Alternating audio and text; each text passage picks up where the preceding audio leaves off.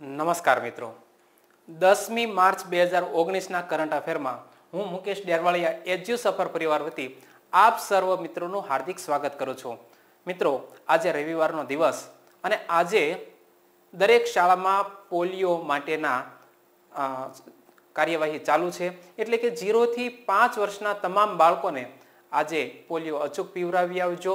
અને આજના કરંટ અફેરની વાત હવે કરીએ તો આજના દિન વિશેષમાં છે, દસમી માર્ચ એટલે કે સાવિત્રીબાઈ જ્યોતિરાવ ફૂલેનો નિર્વાણ દિવસ.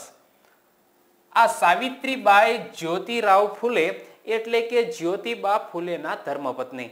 એમનો આજે નિર્વાણ દિવસ છે. તો એમનો જન્મ ત્રણ જાન્યુઆરી અઢારસો ને એકત્રીસના રોજ નયગાંવ સતારા મહારાષ્ટ્રમાં થયો હતો. તો આ દંપતી જ્યોતિબા ફૂલે અને સાવિત્રીબાઈ ફૂલે આ બંને સામાજિક કાર્યકર તરીકે મહારાષ્ટ્રમાં કામગીરી બજાવતા હતા. અને બંનેનો સમાજ સુધારણામાં ખૂબ જ ફાળો રહેલો છે. આદિવાસી, પછાત જાતિ અને કન્યા કેળવણીમાં સૌથી મહત્વનું યોગદાન આમણે આપેલું છે. એમની વાત કરું તો તેઓ ભારતીય સામાજિક સુધારક, શિક્ષક અને કવિ હતા. તેમની ગણના ભારતના પ્રથમ મહિલા શિક્ષક તરીકે કરવામાં આવે છે સાવિત્રીબાઈ જ્યોતિરાવ ફૂલે. અને આમના વિશે જ તે ધોરણ આઠની અંદર એક સરસ મજાનું ભારતમાં સમાજ સુધારણા નામનું દ્વિતીય સત્રમાં પહેલો પાઠ ભણવાનો આવે છે. એના વિશે પણ તમારે થોડુંક વાંચવું જોઈએ. એમાં જ્યોતિબા ફૂલે વિશે લખ્યું છે કે તેઓ મહારાષ્ટ્રના સમાજ સુધારક હતા અને તેમણે સ્ત્રીઓ અને દલિતોના પ્રશ્નો હાથમાં લીધા હતા.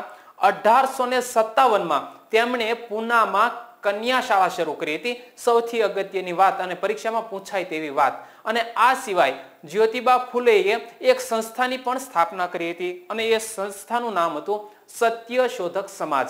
જી હા મિત્રો, સત્ય શોધક સમાજની સ્થાપના કોણે કરી હતી? જ્યોતિબા ફૂલેએ. તો એના વિશે આગળ વાત કરીએ તો તેમના પતિ જ્યોતિરાવ ફૂલે, જે મેં વાત કરી તે. બે હજાર પંદરમાં પુણે યુનિવર્સિટીનું નામ બદલી અને સાવિત્રીબાઈ ફૂલે પુણે યુનિવર્સિટી કરવામાં આવ્યું હતું.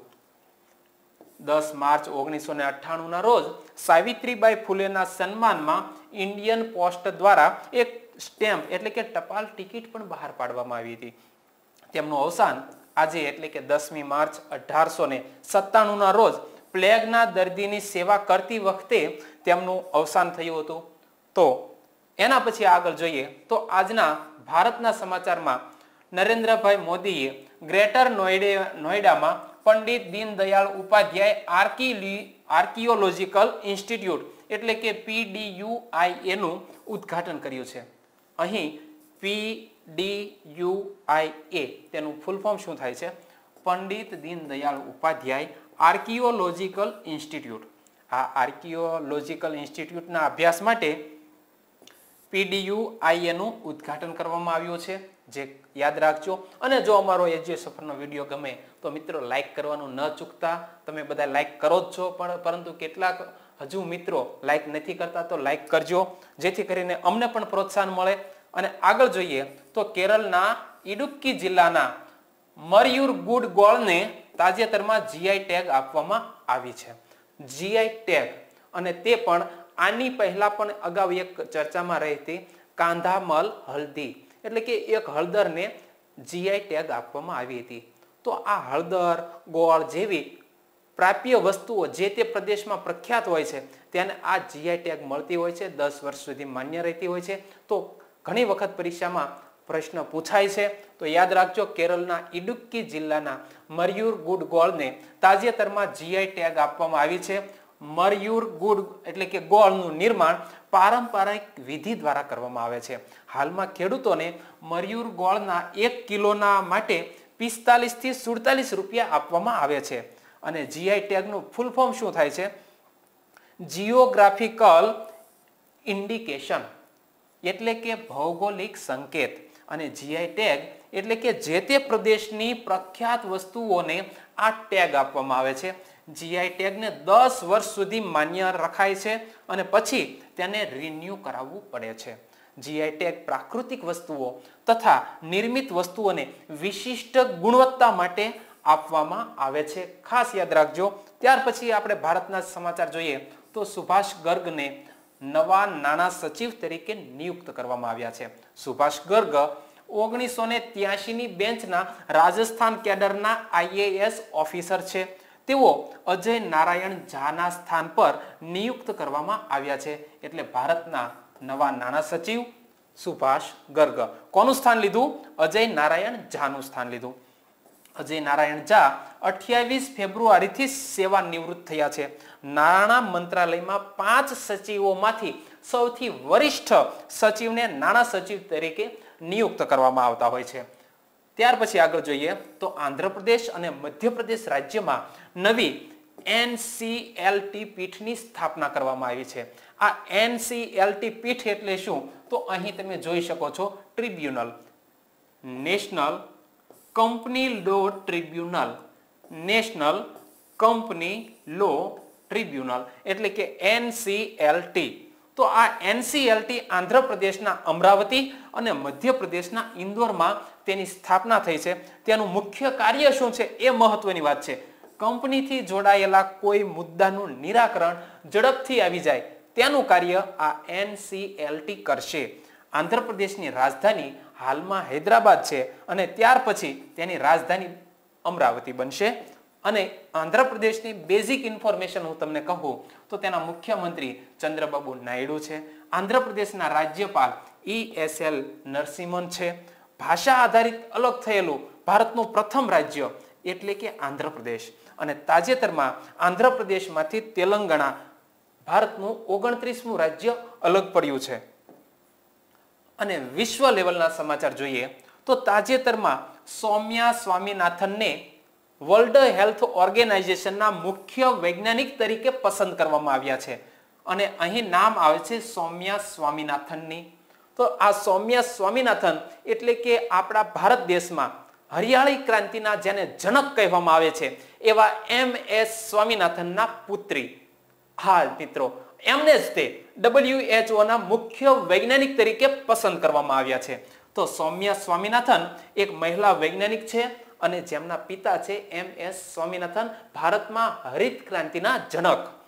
ડબલ્યુએચઓ વર્લ્ડ હેલ્થ ઓર્ગેનાઇઝેશન એટલે કે વિશ્વ આરોગ્ય સંસ્થા.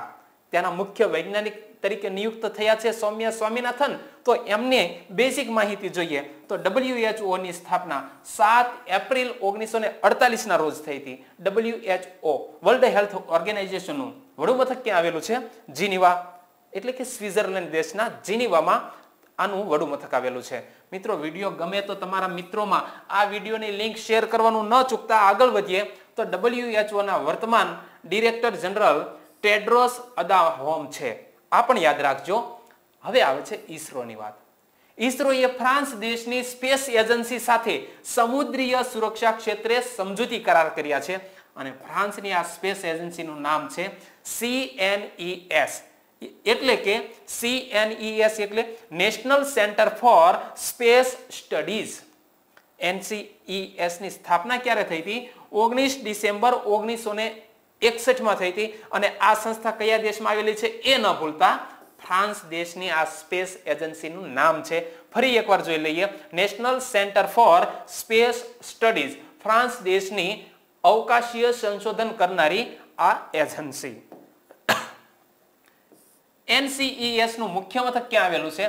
ફ્રાન્સના પેરિસમાં. અને ત્યાર પછી આગળ સમાચાર જોઈએ તો તાજેતરમાં ભારત અને જાપાન વચ્ચે ઔપચારિક અંતરિક્ષ વાર્તા આયોજિત કરવામાં આવી છે. જાપાનની સ્પેસ એજન્સીનું નામ જાક્સા છે. અને જાક્સાનું ફૂલ ફોર્મ શું થાય? Aerospace exploration agency. તો જાપાન એરોસ્પેસ એક્સપ્લોરેશન એજન્સી એટલે જાપા, જાક્સા.